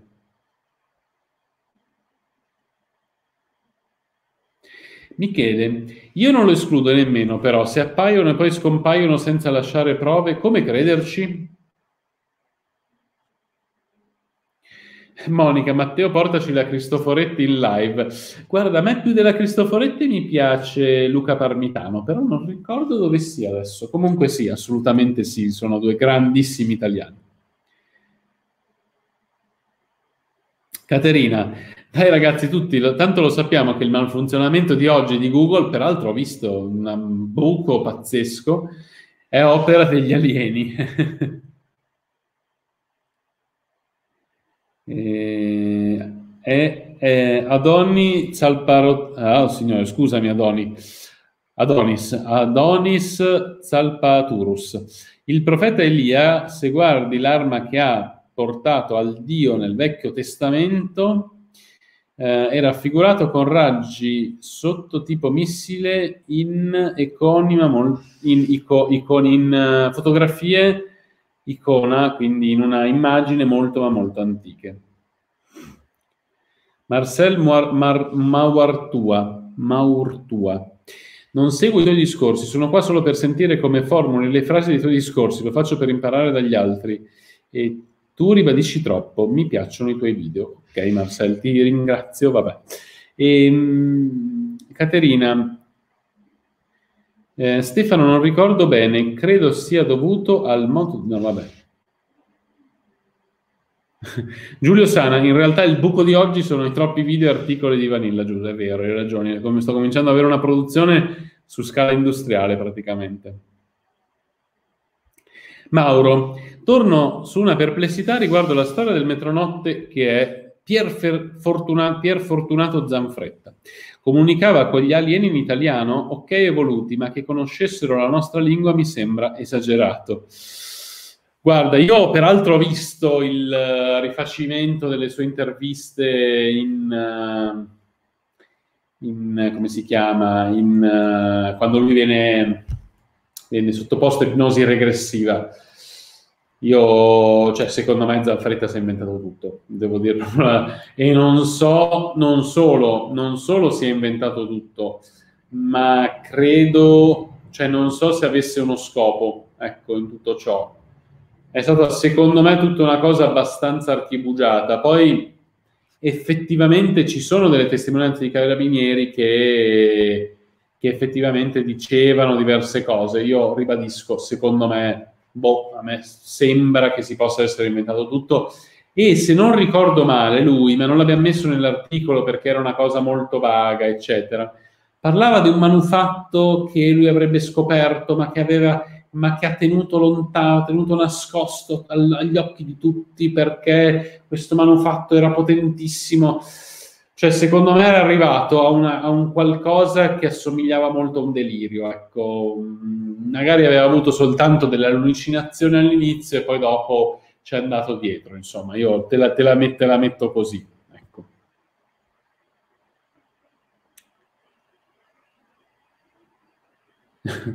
L'Arthur è? Non ricordo il nome, ma uno dei tanti, dei tanti ultimamente citati premi Nobel. Um, aveva, dichiarava di aver avuto rapporti sessuali con un'aliena, sì, mi sembra assolutamente eh, probabile. MC79, spesso in metronotte comunicavano con la grappa, da lì agli alieni il passo è breve, sono d'accordo. Ehm, Pepito, le barzellette sui carabinieri, mistero? Può essere. Eh, Andrea, anche secondo me la storia di Zanfretta è falsa, Vomero altre simili che le stesse prove testimone. Ciò che potrebbe darci molte risposte è trovare anche solo un microscopico batterio nello spazio, ad esempio su Marte. Michele Russo, questo ci dimostrerebbe che la vita può esistere anche fuori dalla Terra e che di conseguenza la vita in altre galassie è molto più probabile. Elvis in the Memphis, magari i mostri possono essere anche esperimenti genetici, da dopo quei matti di esperimenti dei medici di Hitler mica si sono fermati. Marco Righi, io mi stacco dalla chat, mi consumi troppi giga, ma te ci sta, hai ragione Marco. Luce, in termini alieni ci sono già dei batteri, in termini iniziali di un brodo primordiale già abbiamo qualche punto a favore. Va bene, va bene, non lo, non, non lo, non lo, lo so, insomma.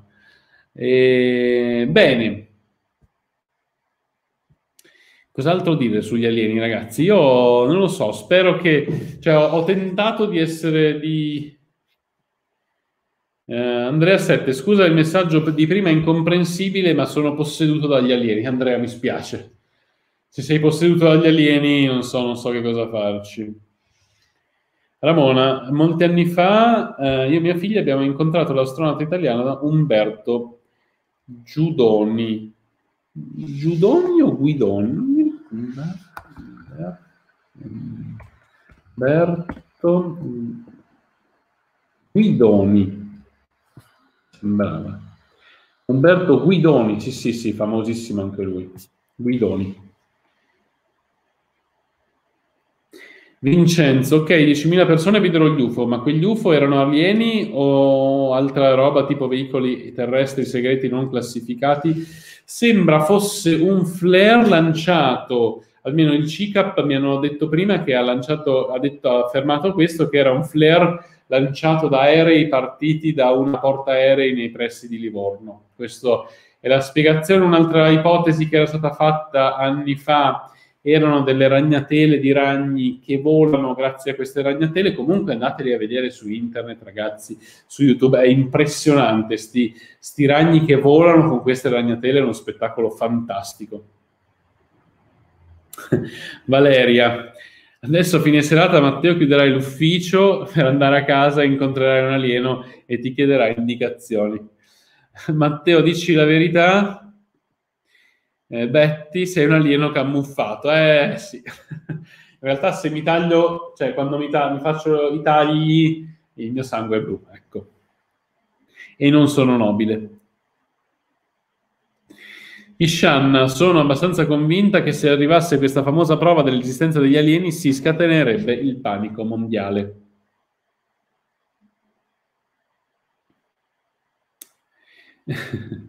Matteo, ma che messaggio hai letto? Dice Andrea.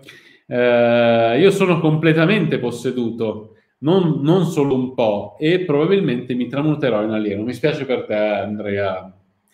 Eh, è un dramma che, che, che alcuni hanno, hanno vissuto, ecco. Nella tana della bianconiglia, Matteo, visto il tuo scetticismo su alcune cose, mi è venuta in mente una domanda che però esula dall'argomento. Secondo te, dopo la morte c'è qualcosa oppure non c'è nulla? Dunque, a mia personalissima opinione, io credo questo. Allora, sempre per la teoria della relatività generale, io credo che ehm, dopo la morte non ci sia nulla, sono sincero, nel senso che credo che il nostro corpo semplicemente si sfaldi, mh, mm, torniamo cenere alla cenere, quindi gli impulsi elettrici che sviluppano il nostro pensiero non sono più possibili quindi non può esistere nient'altro. Però vero è che il momento in cui muori potrebbe, e questo qui è qualcosa che si può si può anche ipotizzare, potrebbe allungarsi in un istante che è infinito, nel senso che poi in realtà davvero il tempo è relativo e quindi magari pochissimo prima della morte potrebbe questo, questo istante prima della morte potrebbe allungarsi tantissimo, tanto da sembrarci infinito. Ecco, io la butto lì come ipotesi, ma è, è così, insomma. Andrea, guarda, capisco un po' la tua, come dire, la tua, il tuo stupore, ti sto facendo una supercazzola, eh, eh, spero tu non te lo sia presa, sto scherzando ovviamente, ancora probabilmente tu non hai visto Amici miei di Mario Monicelli, sono sicuro che li, eh, lo vedrai perché sei un ragazzo che merita di vedere quel film e quando vedrai Amici miei capirai che ti stavo facendo qualcosa che assomigliava a una supercazzola, ecco. Anche se non era prema- prematurata né eh, con scappellamento a destra per due, con eventualità di vice sindaco. Stiamo arrivando alle supercazzole, ci sta? Valeria Colle, guarda, eh, capisco che ti metta un po' di tristezza, non so cosa fare, però sapete che sono sincero, sapete che non amo dire cose che mi rendono simpatico, ma semplicemente quello che penso. Ragazzi, che cosa devo dirvi? Io non ho studiato medicina, non sono un medico. Per quel po' di matematica e fisica che ho studiato, mi sembra di intuire che, cioè, una volta terminati gli impulsi elettrici, non riesco a vedere come si riesca a, dire, a, a, a mantenere nell'aere un'anima, ecco, questo, uh, questo secondo me è così, ecco, vabbè. Pepito per aria, il vero senso della vita eh, lo capiremo nell'istante dell'ultimo respiro. Andrea 7 per fortuna, vabbè. Uh, ciao Shana, buonanotte. Vincenzo Colletti, Domanda secca per Matteo, tu ci credi agli UFO alieni sì no? Non può essere secca perché, come ho spiegato tu, durante tutta la live, io ritengo assolutamente improbabile che la nostra finestra temporale in cui esiste la nostra civiltà risulti ehm, coincidente o, an- o, anche solo riesca a intersecarsi con, una, eh, con la finestra temporale in cui un'altra civiltà nata su un altro pianeta sia in grado di riuscire a comunicare con la nostra. Eh, ho fatto l'esempio per capire quanto questa probabilità sia inconsistente o poco probabile, eh, bisogna pensare a un palazzo di 100 piani in cui c'è questo proprio obiettivo, tu hai una palla di queste esatte dimensioni, una palla, una sfera di ferro di queste esatte dimensioni, gli spari con un fucile che inquadra a caso il, il, il, il palazzo spari e riesci a far entrare la palla qui dentro. È assolutamente improbabile. Ora, ribadisco, questo non vuol dire che non esistono, non sono mai esistiti o mai esisteranno gli alieni. Vuol solo dire che nella vita di miliardi di anni del nostro universo, noi esistiamo da circa, la nostra epoca storica esiste da circa 5-6 mila anni giù di lì, ecco, o un po' di più, ma insomma siamo lì. Um, non sono mai stati incontrati degli alieni, e eh, almeno io sono personalmente convinto, poi ognuno può pensarla come vuole, ma non c'è una civiltà che è arrivata qui, ha costruito un palazzo e poi se n'è andata. Ecco. Eh, che, che, ne dicano quelli che sostengono che le piramidi sono state costruite da, eh, dagli alieni, insomma, comunque. Eh, ribadisco, la probabilità che la nostra civiltà ne incontri un'altra ehm, in quel, in, nel breve lasso di tempo che noi, che la nostra civiltà esisterà, visto il, i miliardi di anni dell'universo, secondo me è molto improbabile. Questo, ribadisco, non vuol dire che a 100.000 anni luce da qui non ci siano degli esseri che possono essere dei eh, organismi unicellulari oppure che possono essere degli alieni con eh, la testa verde, le antenne che parlano fra di loro per telepatia questo non è escluso, ma vedo molto difficile che noi ci entreremo mai in contatto. Ecco, questo è quello che penso. Andrea Sette, che scherzo mi hai preoccupato. Vabbè. Nella tana della bianconiglia, che bella questa risposta. In, parte la penso come te, in parte voglio sperare che dopo ci sia qualcosa. Uh, no, Matteo, figurati, se, se, so che sei sincero, ti apprezzo per questa tua sincerità, ci vuole bene. Uh, vabbè.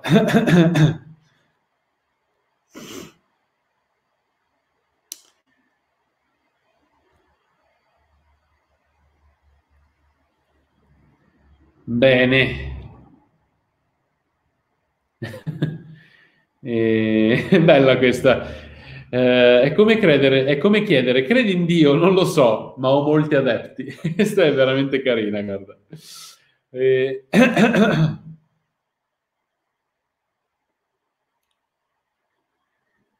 Comunque, e dunque, Grizzi, l'energia non dovrebbe trasformarsi? Sì, sì, è vero, sono d'accordo, cioè l'energia si trasforma sempre, eh, ma si trasforma in calore, quindi noi quando moriamo i nostri, mh, mm, banalmente, le sostanze di cui è fatto il nostro corpo, eh, i legami che si rompono si trasformano in calore, questo calore qui verrà mangiato dai vermi oppure dai batteri, banalmente, mh, dà loro vita Uh, e uh, questo calore che sprigiona darà loro della vita, ecco, e si cioè, tutto il concetto dell'entropia, del, del fatto che uh, l'energia, cioè che le cose si trasformano in calore, è questo, ecco. Eh, sono, guarda, ti dico, sono un po' le nozioni base di, non lo so, forse sono troppo scientifico, però sono le nozioni base di fisica 1, ecco, è una, sono cose, cioè io ribadisco, ero un asino, infatti mi sono fermato a metà di ingegneria, ma sono ecco, sono, a quanto ho capito io sono le nozioni un po' base ecco, della, della, fisica. Io credo che siano insegnate anche le superiori, non lo ricordo più perché io fisica praticamente le superiori non l'ho fatta, eh, però penso siano più o meno le nozioni base. Quindi tutto questo si trasforma in calore e il nostro corpo si trasformerà in calore, ragazzi. Poi può essere poco romantico, può essere poco eh, divertente, può lasciarci poco una prospettiva. A me una cosa che conforta molto invece perché penso che sia bello così, ragazzi, perché penso che ehm, il non essere infiniti, ecco, l'avere una fine ci dia davvero, dia un sapore alle cose che viviamo molto più intenso, ecco, cioè è un po', non so, è un po' come sperare di vedere gli alieni, un po' come sperare di vivere per sempre, cioè quel punto lì tutte le cose hanno un sapore molto scialbo, mentre invece ehm, il fatto di sapere che è tutto finito e finibile mi piace di più. Cioè dico, ok, ho vissuto questo momento qui ed è finito, finisce lì. Ecco.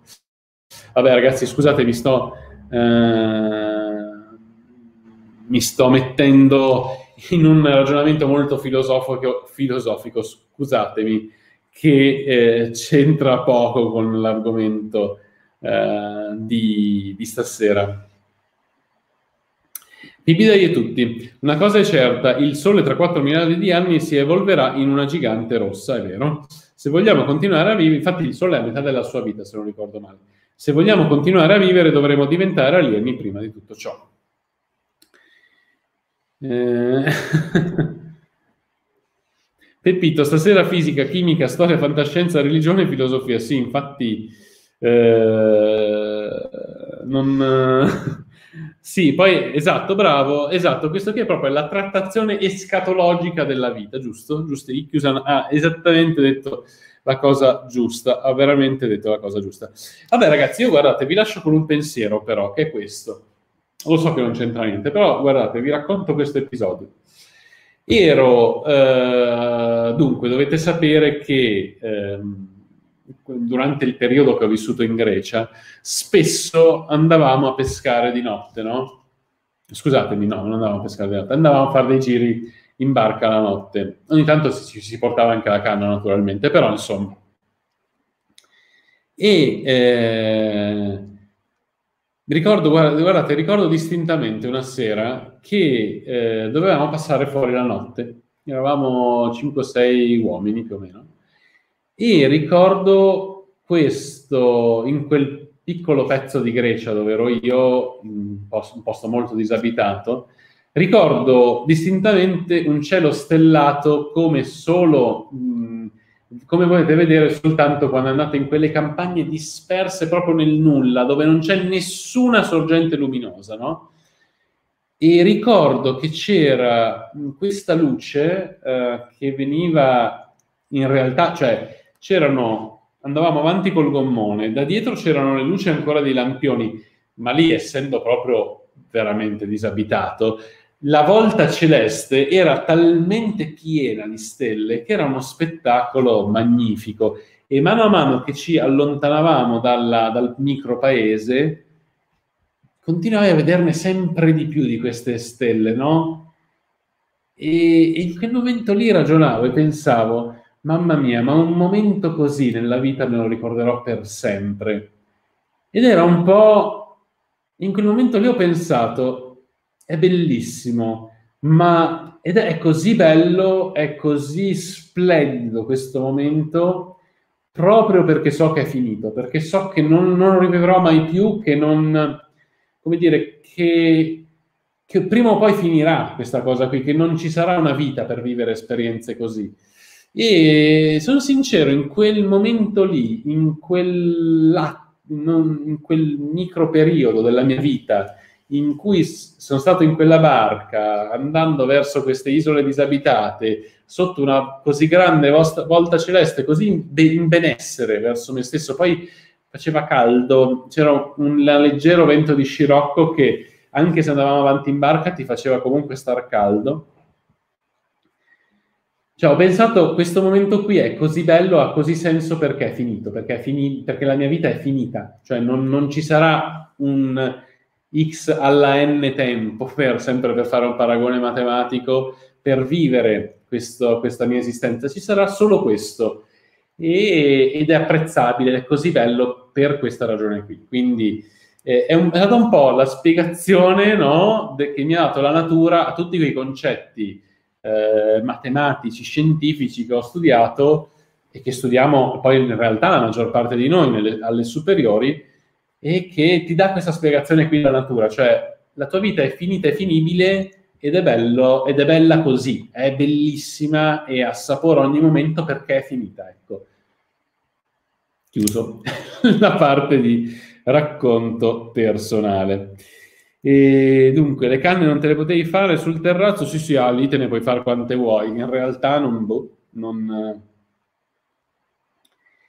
non è che in realtà non me ne sono mai fatte tante, uh, però quando ero, gio- quando ero giovane eh, ne ho, eh, me ne sono fatte un po', insomma, vabbè.